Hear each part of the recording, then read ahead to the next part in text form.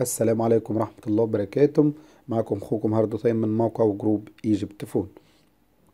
النهاردة جايب لكم برنامج خفيف برنامج لذيذ برنامج مهم جدا لناس كتيرة أوي هيستخدموه. البرنامج دوت بيقوم بوظيفتين. أول وظيفة إن هو بيمنع الإعلانات المزعجة. اتنين إن هو بيمنع البرامج معينة أو جميع البرامج إن هي تشتغل في الخلفية من حيث النت. بحيث إن هو يوفر لك في باقة النت بتاعك على قد ما تقدر. فأنت ممكن تقدر تمنع النت عن برامج معينة أو على جميع البرامج. وكمان بيخصصها لك إن أنت تقدر تمنعها من خلال الواي فاي أو من خلال ال data. طب الكلام ده بيتم إزاي؟ خلينا نشوف برنامج AdGuard ونشوف هو بيعمل إيه. البرنامج طبعا لازم أنوه في البداية إن هو بيشتغل بدون root يعني أنت البرنامج ده مش محتاج root لأن قبل كده كلنا كنا عارفين إن أنت عشان تمنع الإعلانات المزعجة اللي بتظهر لك عن طريق أي متصفح أو أي application لازم تكون عامل root لا البرنامج دوت free وأنا جايب لكم كمان النسخة المدفوعة واللي إن شاء الله هتلاقوها أسفل الفيديو. ببساطة قوي هنروح نفتح البرنامج لأول مرة بعد ما نسطبه. بتشوف ال- ال- الشكل اللي قدامنا. بتضغط على زر ال power اللي قدام دوت بحيث إن أنت تعمل تشغيل للبرنامج. ضغطنا عليه فبيقول لك أنت عايز تفعل ال VPN تمام؟ هنبص فوق هنلاقي علامة المفتاح ظهرت وعلى أيقونة كمان البرنامج ظهرت فوق. في شريط الإشعارات من فوق خالص تمام؟ وكده البرنامج بتاعنا اشتغل. طيب لو دخلنا الإعدادات بتاعته من تلات نقط اللي فوق دولت ودخلنا على ال setting بتاعته هنبص نلاقي في حاجة مهمة جدا اللي هي ال ad blocker. إن أنت تقدر تعمل فلترة أو تعمل blocker على أي حاجة أنت عايزها وعلى جميع اللغات. أي حاجة ممكن تقابلك ممكن تعمل لها block بحيث أما تيجي تتصفح أي موقع مثلا روسي لازم الفلترة تبقى على الموقع الروسي. إن أنت كنت مفلترة مثلا قبل كده على إيه؟ على المواقع الأجنبية أو الإنجليزية أو الأمريكية. لا هنا كمان في موقع رو عشان اللغة الروسية واللغة الألمانية وهكذا. تمام كده؟ ده بالنسبة لأول option إن أنت بتعمل فلترة على آه، المواقع اللي أنت بتخش عليها. تمام؟ فبالتالي لما تيجي تستخدم أي آه، برنامج هتبص كده معانا. من البرامج اللي هي بتظهر دايما عليها الإعلانات. هتبص تلاقي مفيش مشكلة بتقابلك ومفيش إعلانات بتظهر لك. ده برنامج من وسط البرامج اللي بيظهر عليها إعلانات. مفيش أي إعلانات ظهرت عليها. تمام؟ هنخش على برنامج تاني برضو اللي هو زونا. ونشوف هل في إعلانات بتظهر عليه لأن أغلب الناس بتيجي تتفرج على الفيديوهات بتبص تلاقي إعلانات ظهرت عليه. زي ما أنتم شايفين بستخدم البرنامج. مفيش أي إعلانات بتظهر عليه نهائي والحمد لله. تمام كده؟ يبقى البرنامج ده فعلا قدر إن هو يمنع أي إعلانات بتظهر من خلال أي ابلكيشن كمان ممكن نشوف أي موقع نتصفحه ونشوف هل الإعلانات هتظهر عليه ولا مش هتظهر.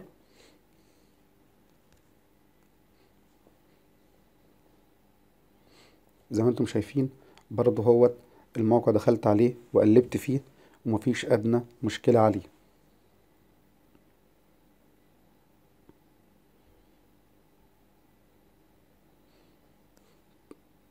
ده موقع من وسط المواقع نخش على موقع تاني.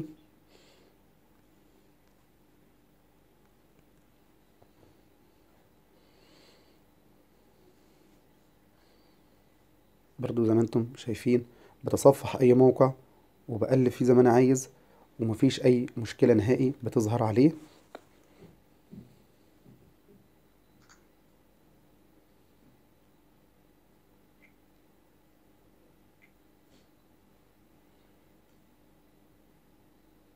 تمام كده. ده أول نقطة ممكن نتكلم عليها. تمام؟ في حتة حابب إن أنا أقول عليها في البرنامج إن أنت ممكن من خلال اللي هي ال option دوت اللي هو user filter إن أنت بتضيف أي بر... أي موقع أنت عايز ما يظهر لكش خالص. يعني أنت في موقع معين عايز تعمل له block بحيث إن أنت لما تفتحه أو حد يحاول يخش عليه ما يفتحش معاه. زي ما أنت شايف بتعمل add rules هنا أو rule وتعمل الموقع بتاعك اللي انت عايزه عايز تعمل له آه، block تمام؟ بص كده شوف بيعد معاك عمال يعمل اللي هو ال block ads اللي هي التاني option تحت كده عمال يعد يعد لك البرامج أو الاعلانات اللي هو عمال يعمل لها block واخد بالك؟ تمام كده؟ وهو لو في اي حاجة برضو هجمات من اي آه، اي اعلانات هتظهر لك اللي هي مكانها صفر دي أو zero هتظهر لك هنا. هو كده اوتوماتيك بيعمل block للاعلانات اللي بتظهر على البرامج أو على المتصفحات. ده أول option بنتكلم عليه. طيب ال option التاني إيه بقى بالظبط؟ بص كده اللي هو ال firewall ده ده اللي هو الجدار الناري اللي هو بيقدر تمنع النت أو تشغله على أي برامج أنت عايزها. إزاي الكلام دوت؟ بص يا سيدي ديت جميع البرامج اللي عندي. تمام كده؟ زي ما أنت شايف. أنا أقدر أمنع النت عن كل البرامج ديت لو بستخدم data تمام؟ وأقدر أمنعها عنها واي فاي. طب اكد لكم الكلام بس الأول. بصوا كده الفيس بتاعي. خلينا نروح نفتح الفيس.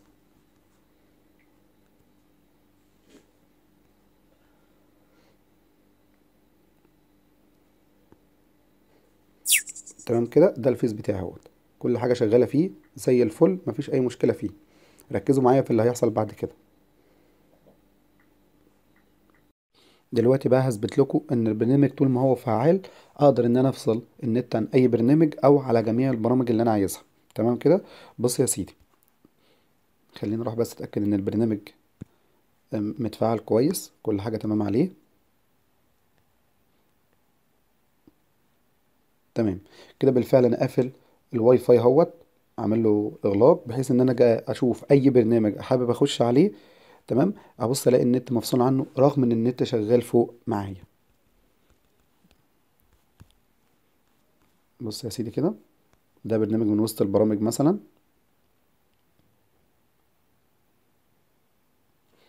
Enable to connect. إن هو أصلا مش قادر يتوصل بالنت. مجرد ما أشوف ما أشيل عنه البلوك هتبص تلاقي البرنامج شغال معاك. ده برنامج من وسط البرامج. أشوف لك برنامج تاني. افتح. شوف.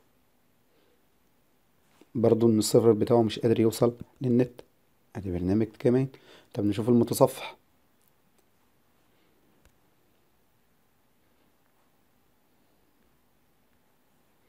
تمام. صفحة الويب غير متوفرة. وبالتالي كده أنا قدرت أفصل النت عن جميع البرامج. طب لو عايز إن أنا أشغل النت عن برنامج معين. بص يا سيدي. أنا عايز أشغل النت على إيه؟ على البرنامج ده على المتصفح دوت. مثلا. أهو. عايز أشغله عليه. ركز معايا كده خلينا أروح افتح المتصفح بتاعي وشوف الدنيا هيحصل فيها إيه.